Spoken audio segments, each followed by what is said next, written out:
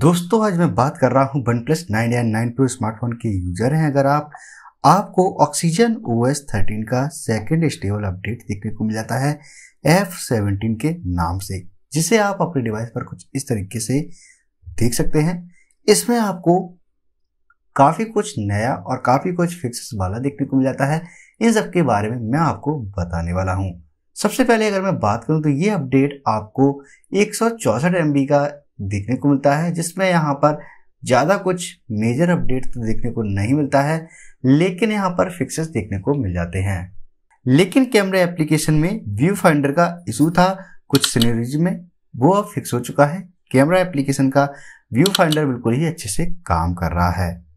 Android security patch level 5 नवंबर 2022 का देखने को लेटेस्ट मिल जाता है। इम्प्रूव सिस्टम स्टेबिलिटी देखने को मिल जाती है पहले के कंपैरिजन में। स्टेबिलिटी को बात करें तो यहाँ पर काफ़ी कुछ चीज़ें बेहतर हुई हैं। जो इशूज थे वो यहाँ पर मुझे फिक्सेस के साथ में देखने को लग रहे हैं।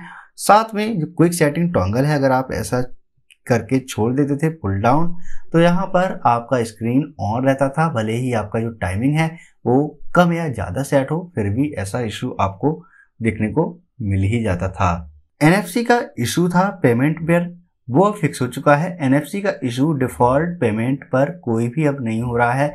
यहाँ पर एनएफसी पेज ओपन हो जाता है और आप अपना पेमेंट जो करना चाहें गूगल पे पर और बाकी के डिफ़ॉल्ट पेमेंट एप्लीकेशन पर वो आप कर सकते हैं। गीक बेंच पर स्कोर सिंगल कोर पर 816 है।